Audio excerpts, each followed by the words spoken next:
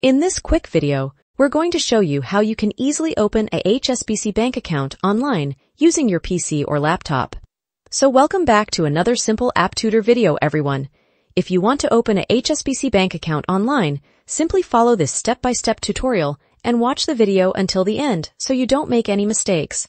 And before we start with this video, if you are new here, make sure to subscribe to our channel for more simple and useful tutorials like this one.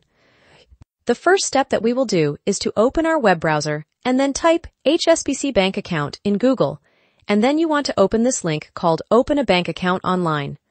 I'm going to make sure to leave the specific website link in the video description so you can open it from there. Once you open the website, it's going to look something like this. And the next step is to tap on this How to Apply button. Once you click on that button, it's going to get us to this page where we have a bunch of information on how we can apply for our HSBC account. You want to read this carefully in order to get all of the information that you need before applying. Once you read all of this, you can simply scroll down until you can see these two options.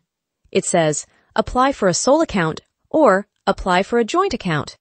You can select any of these account types, and when you do select which account type you want, simply click on it, and we can continue to the next step.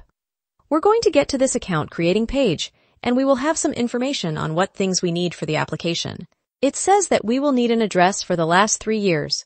We will need our employment details, our income details, and our proof of identity and address.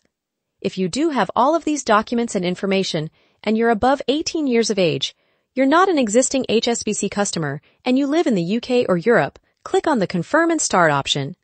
That will get us to this section where we have to fill in our personal details, like the first and last name, our gender, the date of birth, and all that other stuff. Make sure that you fill this up correctly and that all the information that you fill in here are correct.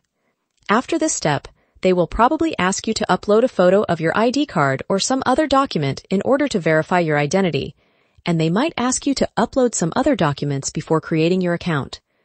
So just follow the on-screen instructions, and you will then create your HSBC bank account successfully. If this video helped you out or you have any suggestions, make sure to leave them in the comments down below, and I will see you soon.